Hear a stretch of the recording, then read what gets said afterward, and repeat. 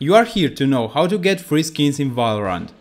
There are two legal ways to do it. The first one is completing all 10 levels of agent contracts. At level 10 there is a gun skin, but I need to warn you, to get that level 10 you'll need a lot of XP and time. The second way to get free skins and cosmetics is the free part of a battle pass. For both them you will need a huge amount of XP. I already made a video on how to gain XP fast, so go check it out. Work hard and don't give up to unlock all that skins that only real gamers can flex. Remember, I believe in you.